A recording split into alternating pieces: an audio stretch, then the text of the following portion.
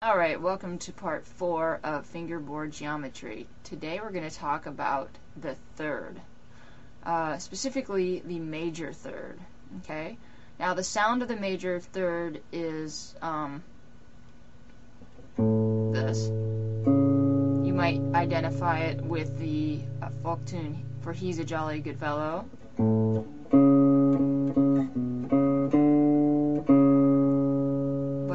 Think of something else, you can also use that. Um, now, there's two basic ways to play the major third. Again, you can play the major third toward the bridge, or you could play it toward the nut. Okay, so if you play it toward the bridge, it's going to be on the same string. So, for instance, from every string, doesn't matter which, you skip, you play the root here, and then you go two whole steps to your major third. Okay? So from this string, the major third will be here.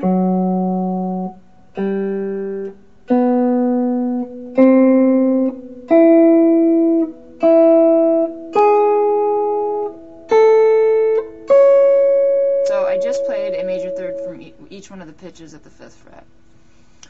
Now let's go toward the nut, okay? Um, now, a major third toward the nut, you go to the next string and one fret lower. So it looks like this. Okay. And this will remain true for most of the strings. So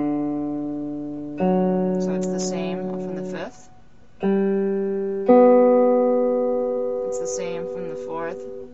However, crossing from the third to the second string, there is an adjustment for the major third. It would look like this now same fret. And then when you get back to the top two strings, it's back to normal.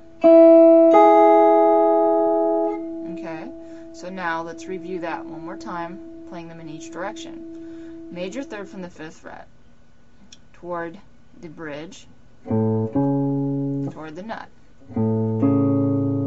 toward the bridge, fifth string, toward the nut, fifth string toward the bridge fourth string.